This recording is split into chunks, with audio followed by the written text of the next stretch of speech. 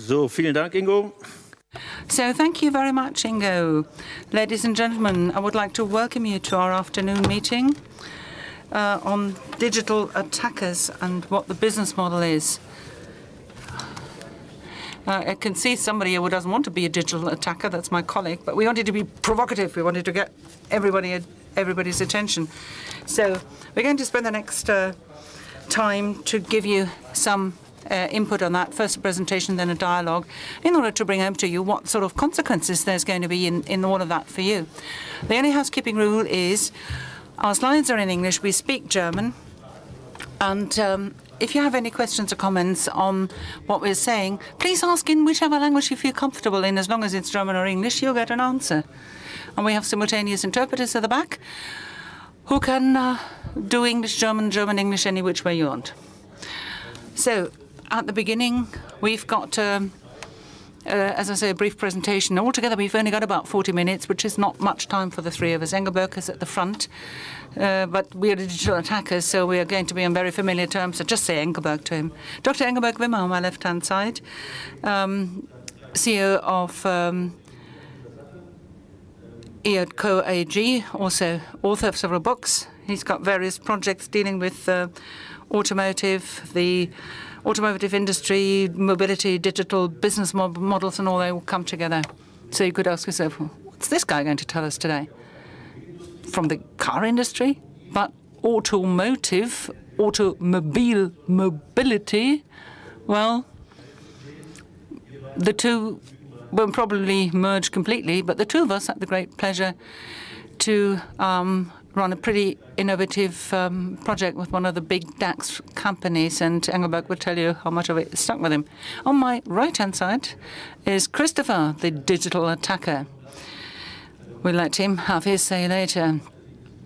Uh, we're going to tease each other a bit. At the beginning, what we called it was ante portas, as in Hannibal, but after 10 years' time, he's definitely arrived in the middle mobility, business travel. Well, if it's true, we'll find out. So, I'm sorry that I can't give you another warm-up. Engelbert comes from Austria, our neighboring country, and all our ski-loving colleagues will know that the Austrians always love to tell you um, a funny story at the beginning. So I don't know whether he will, but let's let him start. Hi, ladies and gentlemen. Thanks very much for this uh, introduction and for the explanation. I hope that wasn't uh, an excuse that I happen to be Austrian. I would like to try to tell you a few stories now because our experience tells us that at the end of the day, stories stick in people's mind much better than slides. And after all, we don't want to give you a lecture here. We want to tell a story. The first thing I suggest we do is when we talk about digital attackers, the things we're going to discuss today, um, actually, what we're talking about is the day after tomorrow, because the things we have to do tomorrow, we've just heard about those in the previous session. But what we're dealing with now is to prepare the world to the day after tomorrow and how to shape that time. Day after tomorrow is a hell of a lot less far removed than you all think. Bill Gates once said, if you plan for one year, we overestimate what we can do. And if you plan for 10 years, we underestimate what we can do. Digitization, that's the big motto of our presentation. And first of all, what I suggest we do is we just cancel the word digitization completely. The reason is then nobody knows what's what's in our head then, and everybody is drunk as skunks, and then they all feel terribly hungover. So if you talk about digitization, we can talk about three things. The demand side, in other words, what is it that people actually want uh, in the field of mobility and travel solutions? And then there is the supply side, what's on offer. And then what changes, that's the technology angle. Let's tell you the demand side in a sort of intellectual experiment, which I think brings it home. Digitization means that we are going through a phase shift in that book, which um, was mentioned. I call that the digital experience economy. So I'd ask you, please close your eyes and imagine this is the year 1900, and you're just 10 years old, and it happens to be your birthday. Your mum is going to bake you a cake. How will she do that in the year 1900? She will get the corn from the field, which is stored in the barn, gets uh, bakes a cake. Maybe she buys in a few things that she doesn't produce herself, subsistence farming. Now, 25 years later, same situation, but one generation on. The family has moved from the countryside into the city. There is no field, no chickens, so you have to buy not just one cent's worth, but 10 cents worth. 25 years ago, later than that, another situation. You don't even have your own chickens. You've got to buy in worth a euro or a dollar 25 years after that. You actually go and buy the cake. And then you do the party and you spend $10. And 25 years after that, again, same situation. You go to Frost the Clown, McDonald's, uh, have their birthday party and spend $100. And now, in the digital age, you're spending $1,000 because you've got an event that you stream live because the grandparents happen to be on holiday in Singapore. They have got their virtual glasses on. Kids are partying here. The, the mother is um, switching herself into it from some uni in Toronto. It's going to be a streamed event, and the character will have changed totally. Every time, the way in which the event is put together has changed dramatically. And my question to you, as far as both the supply and demand sides are concerned, you as a provider in your sector, will you be the one who provides the eggs for the cake? Or will you be the ones who creatively shape the event? That's the question we should ask ourselves. And that's what the digital attackers question. There are a few things that I would like to have you take home with you as, as, as stories that we tell you. First of all, B2B customers mature and demanding. What does that mean? It means that in the travel industry, we find people who don't have a secretary as they used to, or they uh, shout to as they leave their office, oh, book me a business trip from Stuttgart to Dusseldorf and back next week. Digitization has meant that our working tools have become condensed, and that poor guy no longer has to do all his travel bookings himself, but there is a lot more frequency, there is higher complexity, and there is a great deal more responsibility attached to it. You heard an interesting presentation earlier how this one-on-one -on -one can be coped with, but what I'd like to do is give you some examples that shows you how, as a provider, you will find yourself over a problem in that segment unless you tackle the issue. What this concerns is insurance. Click your way through, buy something in here, buy something else there, and so on. B2B customers find the whole thing nuts. Flights where you spend 36 hours in Djibouti, offering that is not really a good idea. Um, Ruptured Media in support. I booked it, somebody else did it, but no, we cannot give you the invoice. That's not good either. So if you want to get to the final customer, who is a B2B customer, then offer what the customer actually wants. We can talk about how business models are emerging on the basis of recognizing frustration that people feel, uh, frustrations that can be sorted by means of digitization. Next, there is this very well-off B2B customer who doesn't want to be distracted and to find end-to-end is not enough, and he's frustrated because he wants a difference. The second um, story I'd like to tell you is something I find quite exciting. It concerns the role of the travel manager. Travel manager, today gatekeeper, purchaser, the guy who registers uh, staff travel activities is somebody, and we've discussed this at length, who is a very challenged person with a very difficult role. Here's a wonderful example, because that is the end-to-end -end travel process. And the different colors you see are the different departments which a travel process goes through, despite all the difficulties and despite all the end-to-end -end encryption surmounting strategies. But these are still all sorts of departments and bottlenecks which have to be gone through. Question. Well, when we prepared that, we discussed the issue and we were surprised how many questions crop up. I can tell you in the last 10 years, I've been working in distribution myself and I've experienced this situation. Say you've been invited uh, for a presentation, it's hassle-free end-to-end process and you think you can, you know, present, get an award and maybe uh, even attract a few customers. But in reality, uh, doors open, there are five people sitting there who talked about who the hell are you? Uh, you present yourself and then say, oh, the sixth guy we don't know. And actually, what you have there is the four heads of the department of the company who will do the security, all the invoicing, all the expense accounts. And um, they show you their business cards as head of department A and B and C and D. And if you know me, you know that I uh, dis dislike German bureaucraties. I mean, department is the first term. I mean, it's something which you know from, from a German railway. So what is a, a department like compartment, a tiny place where it's peacefully and quiet? And when you say you, you run a department, it means you're the guardian of a small place which is supposed to be closed in and quiet. And if somebody like you is to introduce an end-to-end -end process, you better just go away. Because those four people have to a lot have to discuss an awful lot before they reach the level of maturity to even understand what end-to-end -end process really means. I'm sure that you've um, been to various events and you see all this hassle-free end-to-end process, quote unquote. But my question is, do you think companies have got to the way that they can do a hassle-free end-to-end process? Have they got the relevant maturity level? But that challenge is definitely what we'll need in order to shape the day after tomorrow.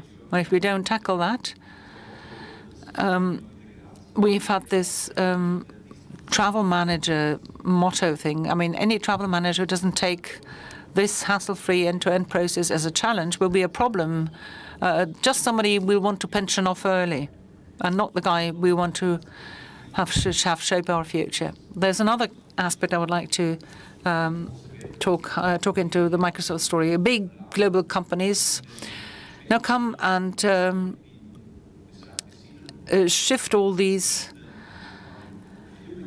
company premises in, in these uh, sort of um, special belts around the cities and go to the central uh, areas of the city and, and rapidly reduce the space they have so that people can go with public transport to their offices rather than be commuters from somewhere outside of town and, and commute into the city. That is another type of mobility management as we understand it. In other words, the mobility of the workforce needs to be orchestrated now. It's not just uh, be the travel guy in your company who books people's flights. So travel management is completely different now. And I can add to that because when we started, we said there are opportunities in there. Out there, lots of changes are going to happen. Whether we call them war for talent or digitization or whatever other megatrend you uh, use as a headline, but there are opportunities. And the question is, this sort of process in a company we now have will only really account for the trip that leads to an expense account and all that. But we think from 2018 following on, you you should look into all other sorts of trips that people take in the country, even if they're not expense account travel, business travel type things. So it's an extreme widening of the area of responsibility and competence. Today we've got some individuals, very innovative travel managers who've been tackling that. I'll take um, the fact that people have been waving at me um, to say I've been running out of time, so let's go and skip some of the things I wanted to tell you and just go, focus on what's important. The big thesis is there is a new plurality in a huge market, and I would like to tell you two examples. Just in Germany, 1.2 million business travelers a day, so it's a ginormous market. It's a market that slowly but surely is growing. Um, you, you, can get statistics um, from us about this, about the growing business travel markets, if you give us your card later. What's also very interesting is the level of expenses every year. For a business traveler, business traveler tends to spend twice the amount that any other traveler does. So the market is very interesting. And that market is sort of uh, like an oligop olig oligopoly. It's a huge elephantine market. Oh, has these um, structures the multi-centered structures in which it is in, in present. And um, there is a lot of risk capital in this. And that is the very travel market that we're interested in. And what you see is here the various layers that we have as these oligopolic structures. Every single layer nicely structured, and you can see huge markets, very little movement. And as you pointed out, there is a, a, merger which hasn't yet happened between mobility and, and uh, motive, uh, automotive. The problem is really that the business trips tend to be top to bottom, bottom to top, but they happen in, in perpendicular mode to the services, and that's where the digital hackers can get into it. There are more than 1,000 travel tech startups that were set up with uh, venture capital worth 10 billion. And I would like to tell you, for the time being, they're very much focusing on the B2C sector, but we will see that B2C um, yeah, we'll have some big investments, yes. Well, we're talking about this as if it doesn't matter, but we are right at the heart of Germany, and that's the penultimate slide which you uh, showed with the two circles. Let's put at um, put our attention at where Germany is on the right-hand side. Global funding trends. So that tells you the countries where in some labs or accelerators or whatever you want to call it, in Newspeak, in television, you call it the lion's den. That's where they go. They're saying, you know, we've got a proper structured process. And at the end, they, they sit in front of some CEO and say, I've got to get funding released to the tune of X, Y, Z, and I've got this idea. Could be my taxi, or 10 years ago, it could have been Airbnb. And then they get a top-down agreement or not, and then once they have approval, they can implement their idea. When you see how many countries follow that sort of process, and I can tell you, 3%, Germany ended in that uh, section. Uh, looking at the HRS presentation two days ago, Mr. Fischer, the former uh, Vice Chancellor in Germany, Joschka Fischer, said the world uh, is going to wake up and, and, the world will happen between the Chinese wall and uh, Silicon Valley, and anything in between is going to watch in amazement. Just imagine what Engelbert is showing you on the slide here.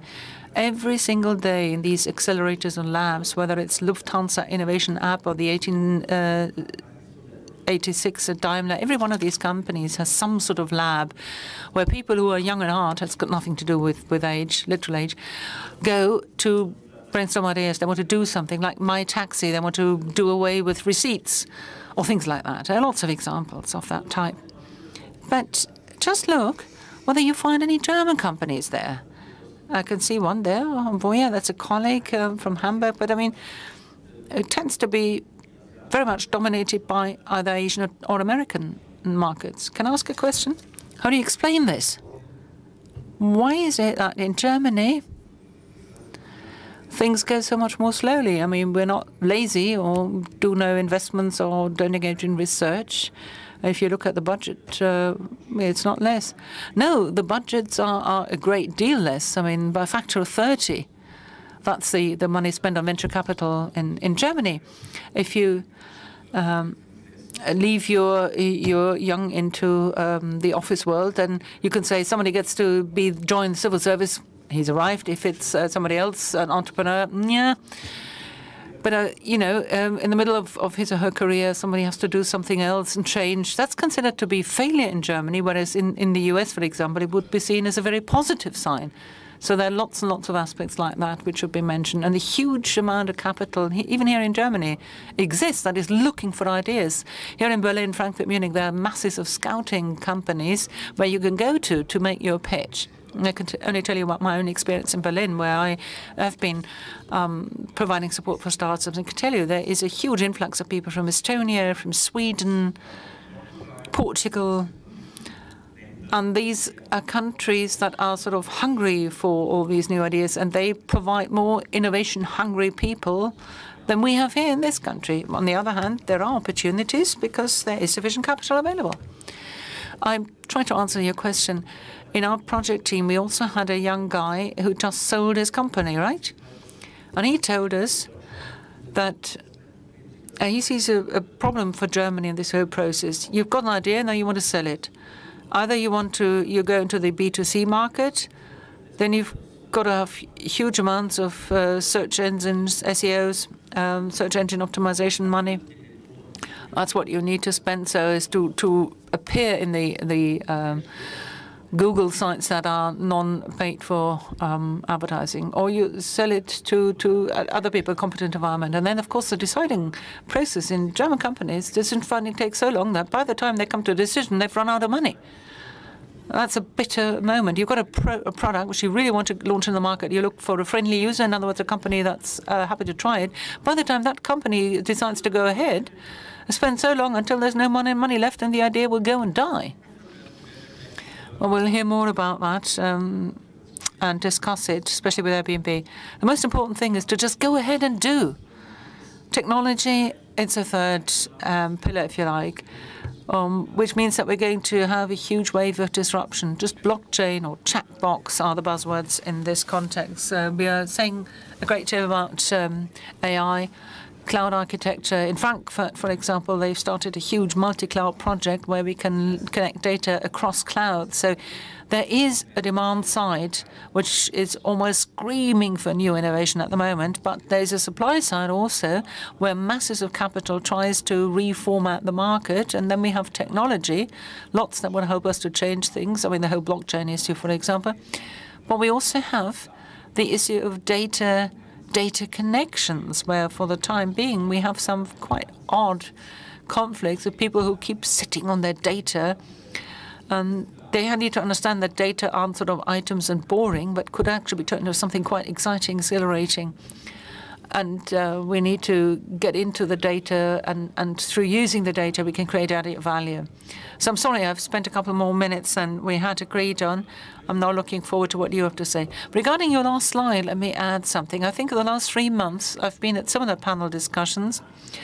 And looking back, I mean, as I say, I had the luxury to be invited to take part in several ones, always on the left or the right in the banner. It always had the words simplicity or customer-centered or something. And I asked myself, if you read simplicity five times and customer centricity five times, and you're a travel manager, then you have to deal with at least five companies, all of which are keen to sell you simplicity. It's not all that simple. If somebody talks about direct connect in the airline sector, then you have the hotels. There are online travel agencies who don't need the intermediary anymore. Five times simpler. That's quite complex, actually. So one of the messages we'll have to get you to take home is before we get to what the end-to-end process seems to give us in a way of a simple horizon uh, can only be reached once we've um, surmounted several hurdles on the way. Now, we've heard a lot of talking, but we already said we don't want to just talk. And you see this logo here?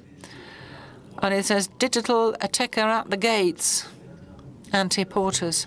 And when we met, the word digital attacker wasn't all that funny for you, was it? No, it's always something which has a slightly negative connotation, you know, attacker.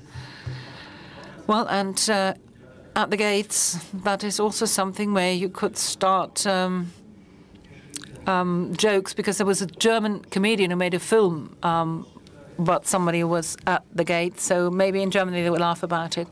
But your company has now been around for 10 years. I think Airbnb, well, you used to be one of the innovative companies. Well, ante portas is the buzzword at the gates. There were lots of things I wanted to take a note of, uh, I wanted to address. I'll start with ante portas and the rest. Please feed me my cues. If we look at where we come from, I mean, a few years ago, we did an analysis and found that at Airbnb, all together 10% of all jobs are business related, oh, trips are business related. So the trips are primarily business. Even before we really started and got off the ground, we got a bit further than at the gates. We were, we had, you know, a foot in the door, if you like. The next step for us is to say, we'll talk to the companies, we'll try to understand how and what we need to do, and we need to adapt our product so that companies take us into their travel policy as one option. Because both you and companies seem to understand that um, staff members, depending on, on the situation scenario, consider Airbnb quite um, an acceptable or, or even a good alternative. I say an alternative very much on purpose because I believe, let's be honest, what's your ordinary business trip like? Let's say I go in the morning 6 a.m. flight to Munich, got to appointments all day, have a bite to eat in the evening, maybe go to a bar, bar for a nightcap, and then go to my hotel. That's how it always is, has been, and will be, and there's a good reason for that. But there are other scenarios where it would make sense to consider. I mean, especially if you have a longer stay somewhere, relocations, or the issue you mentioned working itself is changing. People are much more mobile or more project-oriented. You spend a few months here, three months there, and so on. So to have a home away from home seems to be quite an interesting uh, alternative option.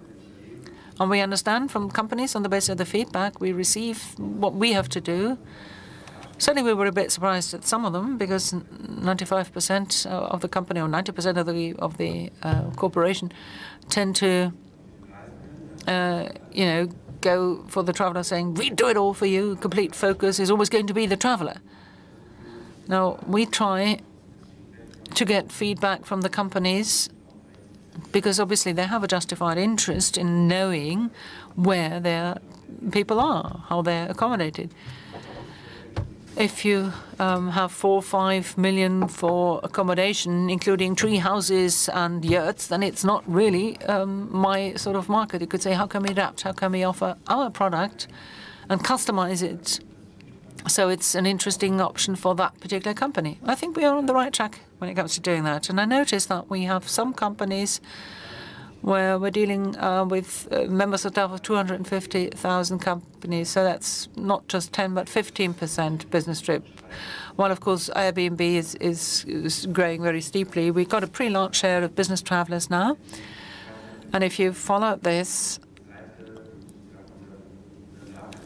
I mean, we've uh, sort of cleaned up uh, the shop a bit. We've introduced new categories. We no longer offer you three categories of accommodation. We have, I think it's altogether seven now. And th that includes bed and breakfast, boutique hotels. All these are issues that, uh, because of the feedback which we got from companies, have been included to where they are now. We even highlight them a bit, and it, it's working quite well. We have a work collection, if you like. We've defined standards where we know that there are certain things which really matter to a business traveller. It has to have Wi-Fi, it has to work well there. Then uh, cancellation policy needs to be more flexible. Uh, it has to have smoke um, detectors, and it has to have all sorts of things which uh, somebody needs when on a business trip. So we put all this together in, in a new collection. And um, that means we allow the business traveller to have another way of getting into our platform. Different uh, from the guy who travels for private purposes. I'd like to go back to the first sentence you said, because otherwise I would have asked you, what was your strategy in the business travel market and what's your current percentage of business travellers? And if I understand what you said uh, originally, you sort of stumble into that rather than plan to go in, right? In advance of the meeting, we talked about it a bit, and you were surprised that the email addresses of the people who, who are in your database um, are all company emails. You, you were struck by that, and you said, oh, they're not private travelers. I mean, it's not GMX, Google, Yahoo, email, or whatever, but they're well-known company names. And I think that there is something between what Engelbert said and between what you said, and I'm sure there are going to be several traveler managers who are going to wake up to that if they see that the once the end-to-end process is uh, there, they know what to book, which which partners they want to book with, and when it comes to the invoicing, they get the emails as to where exactly people have booked, and most of them will find, and that's what I would like to ask you to comment, uh, that they see um, a lot of the hotels are not booked uh, according to the channel that they would like to see, and then you go through your books and you will notice, oh, they ended up with me. Without anybody actually seeking this out, without having a policy in place, and given that, you have to ask yourself the question, if you look at this, uh, the aims, simplicity and customer centricity, something must have happened there. Are you so attractive that, uh, without actually being asked, uh, people uh, kind of automatically uh, uh, gravitate towards you? Well, you spoke about customer centricity. Customer centricity is also a bit absurd as a category because, of course, I know that the um, employees will uh, uh, look us up, and if we uh, can present an offer to the corporate world without destroying the benefits of Airbnb, without having to uh, include a specific uh, window in the TMC, then I think uh, it works. Customer centricity, I do understand that we have quite a number of customers that stick with us, many business travelers that uh, use our offers. And uh, the question is really uh, to what extent customer centricity is really uh, something that uh, is uh, alien to the business, really. Well, at some point in time, we came to think about our workplace as uh, the place where we had our computers and machinery stood, uh, where we put down our laptop. And nowadays, we have the uh, cell phone in our pocket, and we're well on the way to a new work environment. And it becomes very, very difficult to define the actual workspace. There are attempts to regulate it or to create some constraints in order to get a hold on it, but we're actually living uh, and it, we're actually embarked on a journey to a new work future, and uh, it's become much less clear whether a supplier uh, with whom I work is perhaps close, more closer involved uh, with my particular work environment than uh, the immediate uh, department uh, next to mine, and uh, those, and you start getting together and working in, in, in, in separate workspaces, and organizing that is uh, uh is actually ideal for the kind of offer that you make, and this uh, really is this kind of a top-down thing that if I were a venture capitalist, uh, I would invest in that kind of business model, and instead of simply investing in uh, process optimization. Well, you can see that uh, we're sitting on stage here, um, illuminated by projectors. Doesn't allow us to see you well, but how was it actually? Uh, was it that travel manager then in a company uh, then contacted you and said, well, we need the uh, smoke detector and we need the emergency exits in order to book this, and uh, also uh, lighting on the floor uh, in case of emergency, then I would include you in uh, my program. But what was your first encounter? How uh, did it come about? Uh, how did you get in touch with the travel management uh, scene, as it were? Well, it was quite an experience. It was really quite extreme because um, I don't hail from the business travel segment, and um, I hadn't had that much experience in the travel industry, and I had to write down vocabulary. I had to try and understand the language spoken, uh, the abbreviations, what, uh, who uh, will receive money from whom, what kind of bookings take place, and I had to look at this uh, uh, extremely intricate and maze of connections there, and then I understood that uh, this these this very different approach is also linked to a kind of fear of uh, who we are in a way. And that, and the first feedback that I received from travel managers uh, in various debates was uh, quite reluctant. And I said to myself, well, this will, is going to be a long journey. And um, of course, we've already uh, been underway for a while. We have quite a lot of travelers that are enthusiastic about us, but it's also uh, important and the right thing to do to uh, make sure to, to see that companies have certain uh, demands or certain uh, preconditions, and you need to meet them. But uh, but of course, going through scenarios like what happens if this happens, what follows if that happens, uh, people are very very skeptical in Germany. I contacted my colleagues in England, in the UK, in France, and asked them how things were going on their side, their their neck of the woods, because I had to say it was really tough on my side. Well, um, yeah, I started working for uh, uh, an American uh, digital company, and, uh, and we had these kind of callbacks where people said, well, asked, well, how about the margins? And then people were, and we always had to say, well, no, we still have to go through this step and that step. And of course, that's no fun. And we're talking about digital opportunities and we're talking about laboratories here. And then you realize that you're talking with people who have a completely different language. And do you have the imp impression that they're uh, trying to uh, keep you out uh, as long as possible, actually, that they're very reluctant in that sense? Well, everybody knows Airbnb. That's uh, part of a very controversial debate going on. Uh, shared economy is a buzzword. The I think the interest is there. I think where we have improved is to to better ascertain whether it's a one-off interest or whether this is an ongoing conversation.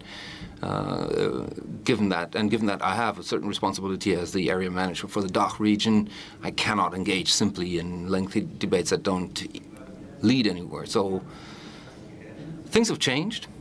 Things have developed. We have developed. We did our have done our homework.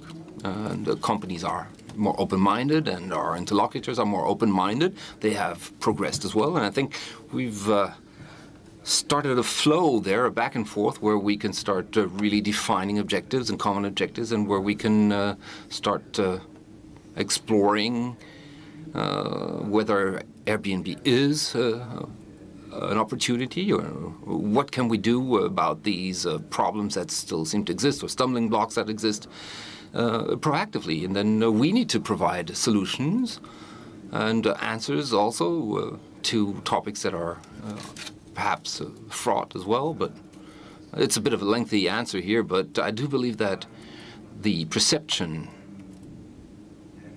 and uh, the way Airbnb is uh, perceived uh, is changing. It's growing in the market, and there's more and more acceptance in the market for us.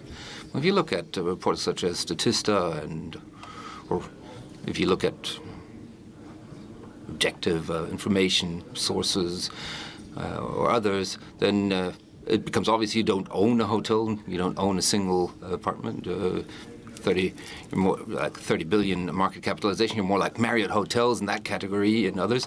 Obviously, uh, you won't only encounter uh, friendly attitudes in the business world. So the question is, are people coming to Germany using Airbnb, and how? What is the percentage of business travel that uh, seeks out your office and the market here. Well, I can't give you these uh, figures because I don't actually have them here. But uh, the German market, of course, there are differences between markets, but the the German market, in terms of inbound and outbound travelers and their behavior, is um, not uh, is, is, is, not more reluctant than the French or English market. Uh, I mean, uh, it is the case that uh, there's a certain goodwill, and a certain uh, open-mindedness vis-à-vis new things there.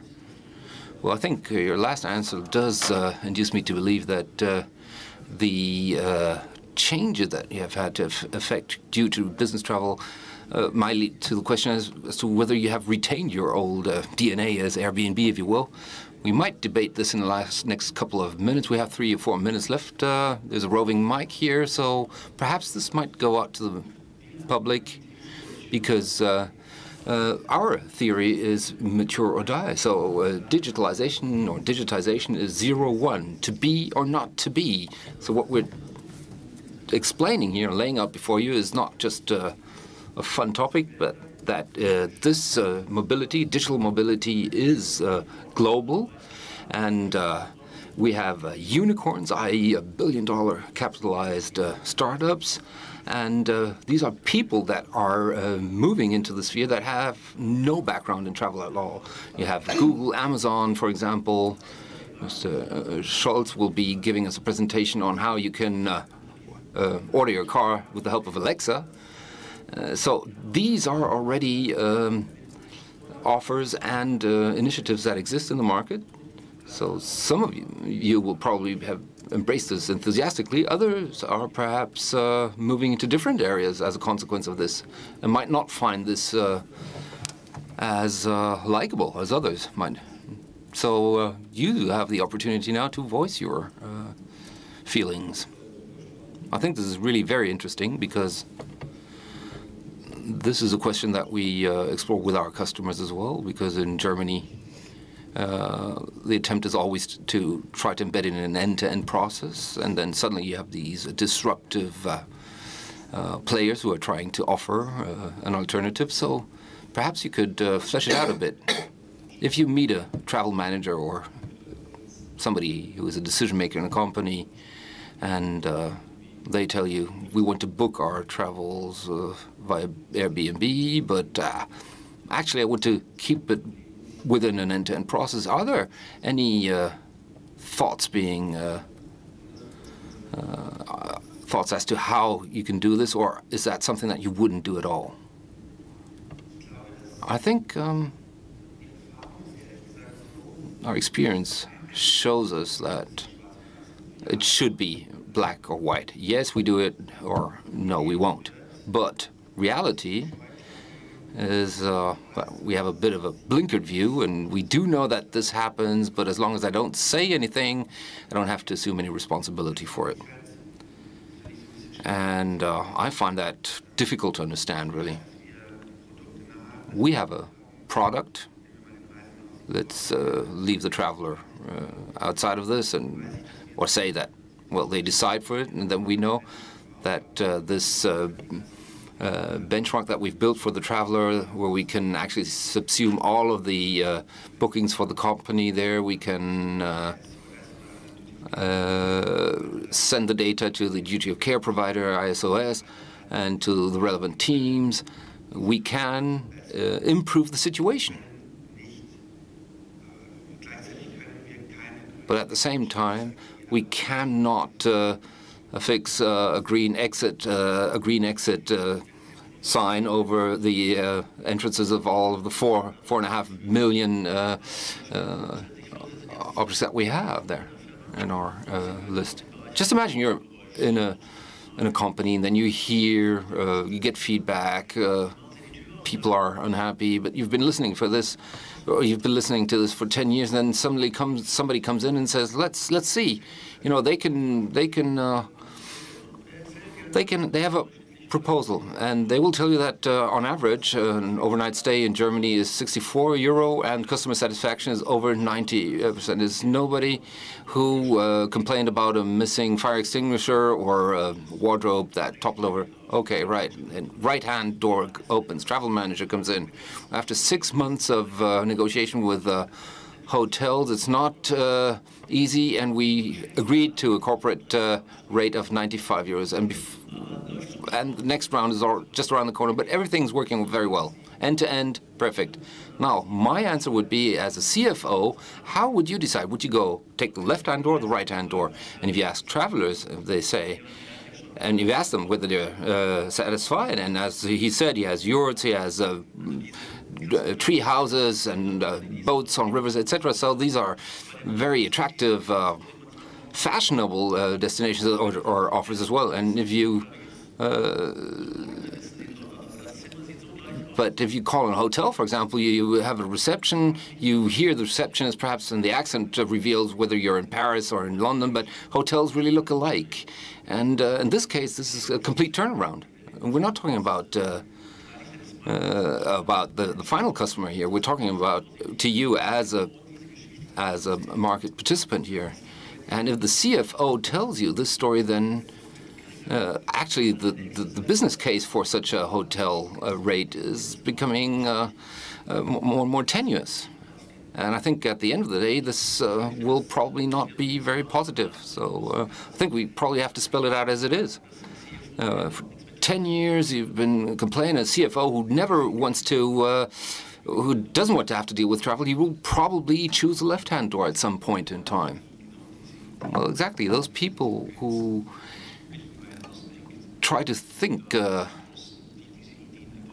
beyond uh, existing constraints, try to think outside of the box. Why not uh, offer Airbnb? Where's the risk in it? If you get up tomorrow morning and uh, then uh, you look into the mirror and you ask yourself, I'll try it. And then, you know, come up with 10, 15 different ideas. And the, the, the worst case scenario would be that you could actually make a lot of money on the back of this. Well, an Airbnb certified house, you have to uh,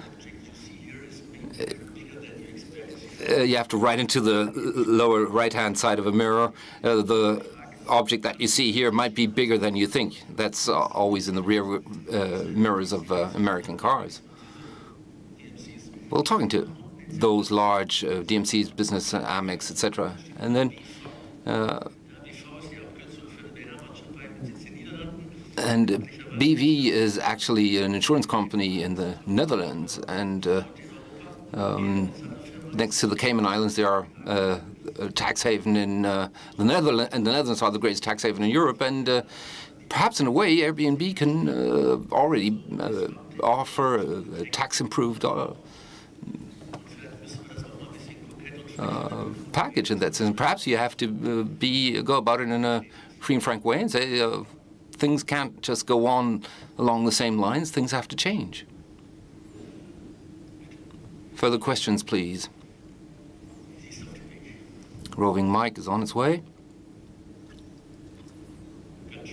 That's very, very interesting to, uh, we're really talking about founding new uh, opportunities here. Well, courage, pride, and uh, persistence. I think those are things that uh, hold you back and uh, getting started, starting something new. And there's also war for talents out there. And there are quite a few opportunities, different opportunities. So why suffer three years, for example, and courage? Why try it out? Because of course you can fail. And pride means do I dare go to the people who have the money, offer up my idea? If I don't offer it up, I won't make it, but it is this idea that is linked to a kind of pride and sense of pride, and I do think that that uh, holds many people back. And if you say that um, people from Spain come here, think uh, they probably are uh, don't have as many opportunities in Spain as we have in Germany, perhaps, as young people. And perhaps that's uh, one of the reasons why more ideas uh, are emerging from Spain in that sense. So that's the question. Courage, pride, and persistence. What does that mean as a, for you as a digital attacker in that sense? Well,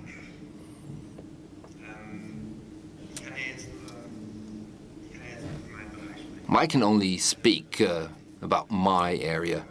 Uh, we have Airbnb for work, and that's a, a, small part of the overall structure of Airbnb. Pride, courage, and persistence. Well, you need all of that. Uh, youth dementia as well. all of that is very useful. No, I believe that we need uh, resilience in that sense and uh, persistence uh, in order to explain to the market what we do. Uh, we can add uh, things, report, uh, prepare data, make data available. It's a long path, and those are justified questions that we're confronted with. So I do believe that certain persistence is very, very important, and uh, courage. If this uh, business model that seems to be working very well, do you also have ideas about offering additional items such as uh, meeting rooms or shared offices?